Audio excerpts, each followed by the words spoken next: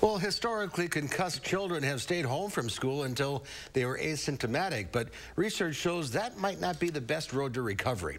A study published in the Journal of the American Medical Association found getting kids aged 8 to 18 back to class, even with some symptoms, can accelerate the recovery process by 10 to 14 days.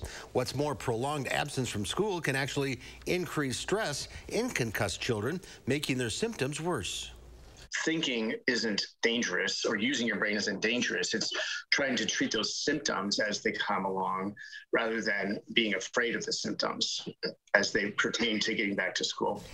Concussions affect every person differently, and it's important to accommodate kids as they get back to the classroom. Dr. Reeder recommends half days, audiobooks, and pre-printed class notes as just some of the ways schools can accommodate concussed students returning to school.